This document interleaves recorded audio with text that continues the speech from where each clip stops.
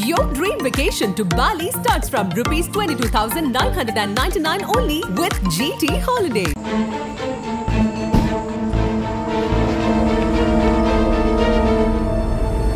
அவர் தற்கொலைக்கு முயற்சி பண்றாரு பள்ளி மாணவிகள் வன்கொடுமை விவகாரம் போலி மாஸ்டர் செய்த வில்லங்கம் தொடரும் கிருஷ்ணகிரி திகில்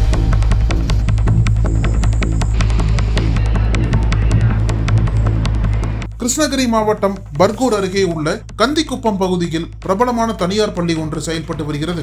இந்த பள்ளி வளாகத்தில் கடந்த ஐந்தாம் தேதி முதல் ஒன்பதாம் தேதி வரை என்சிசி முகாம் நடைபெற்றது. இதனால் இங்கு படிக்கும் பதினேழு மாணவிகள் பள்ளி வளாகத்திலேயே தங்கி தினமும் முகாமில் பங்கேற்றனர்.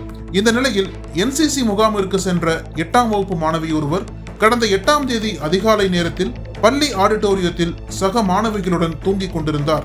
அப்போது அதிகாலை நேரத்தில் தனியார் பள்ளியின் என்சிசி பயிற்சியாளராக பொறுப்பு வகித்த காவேரி பட்டணத்தைச் சேர்ந்த முப்பது வயதான சிவராமன் என்பவர் பள்ளி ஆடிட்டோரியத்திற்கு வந்துள்ளார்.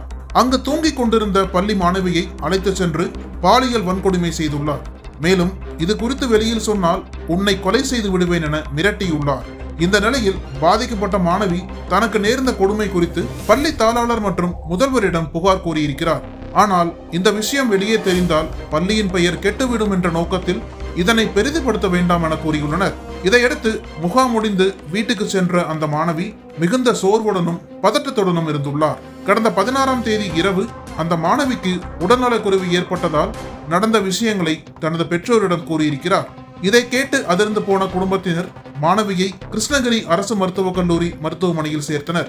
பின்னர் இச்சம்பவம் குறித்து பர்கூர் அனைத்து மகளிர் காவல் நிலையத்தில் புகார் அளிக்கப்பட்டது.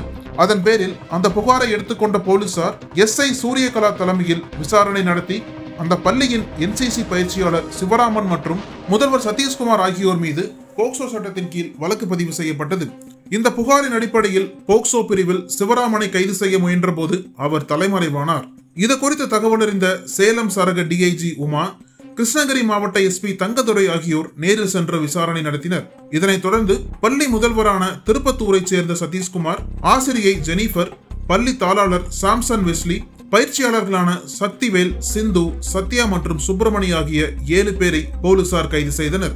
அதில் கைதான சுப்பிரமணி முன்னாள் சிஆர்பிஎஃப் வீரர் என்பது குறிப்பிடத்தக்கது. இதனிடையே இந்த வன்கொடுமை வழக்கில் முக்கிய குற்றவாளியாக பார்க்கப்படும் சிவராமன் நாம் தமிழர் கட்சியில் முக்கிய பொறுப்பு வகித்து வந்தார். சிவராமன் மீது பாலியல் வழக்கு போடப்படுவதற்கு ஒரு நாள் முன்பு அவர் கட்சியில் இருந்து நீக்கப்பட்டிருக்கிறார். இந்நிலையில் தலைமறைவான சிவராமன் கோவையில் பதுங்கியிருப்பதாக காவல்துறையினருக்கு ரகசிய தகவல் கிடைத்தது. அங்கு சென்ற தனிப்படை போலீசார் சிவராமனை சுற்றி வளைத்து கைது செய்தனர். அப்போது அங்கிருந்து தப்பிக்க முயன்ற அவருக்கு காலில் எலும்பு முறிவு ஏற்பட்டது. தொடர்ந்து மருத்துவமனையில் அனுமதிக்கப்பட்ட சிவராமனுக்கு மாவுக்கட்டு போடப்பட்டது. பின்னர் அவரிடம் போலீசார் மேற்கொண்ட விசாரணையில் சிவராமன் உண்மையான என்சிசி பயிற்சியாளரே இல்லை. அந்த பள்ளியில் நடந்த என்சிசி முகாம் போலியானது. மேலும் என்சிசி முகாமில் கலந்து கொண்ட பதிமூன்று மாணவிகளும் பாலியல் தொந்தரவுக்கு ஆளாகியிருப்பதும் விசாரணையில் தெரிய வந்தது இந்த வன்கொடுமை தொடர்பாக விசாரணை நடைபெற்று வருவதாக அம்மாவட்ட ஆட்சித்தலைவர் சராயு கூறியிருந்தார். இந்நிலையில் இந்த சம்பவம் தொடர்பாக என்சிசி தலைமை அலுவலகத்தில் இருந்து விளக்கம் அளிக்கப்பட்டுள்ளது. அதில் என்சிசி முகாமில் பள்ளி மாணவி பாலியல் வன்கொடுமை செய்யப்பட்ட சம்பவத்தில் என்சிசிக்கு எந்த தொடர்பும் கிடையாது. கிருஷ்ணகிரி மாவட்டத்தில் என்சிசியில் பதிவு செய்த எந்த ஒரு மையமும் பயிற்சி முகாம் நடத்தவில்லை. என்சிசி சார்பிலும் கிருஷ்ணகிரி மாவட்டத்தில் எந்தவித பயிற்சி முகாமும் நடத்தவில்லை என தெரிவித்துள்ள என்சிசி தலைமை அலுவலகம் இந்த சம்பவத்தில் தொடர்புடைய யாரும் என்சிசியில் உறுப்பினர்கள் இல்லை என்று விளக்கம் அளித்தது. இதற்கிடையே சிவராமன் எலிகளுக்கு கொடுக்கப்படும் விச மாத்திரையை கைது செய்யப்பட்ட பதினெட்டாம் தேதியன்று சாப்பிட்டதாக போலீசாரிடம் தெரிவித்தார். உடனடியாக அவருக்கு அரசு மருத்துவர்கள் இரத்த பரிசோதனையும் செய்தனர். அப்போது அவர் எலிகளுக்கான விஷ மாத்திரையை தின்றதும் அந்த விஷம் இரத்தத்தில் கலந்திருப்பதையும் மருத்துவர்கள் உறுதி செய்தனர்.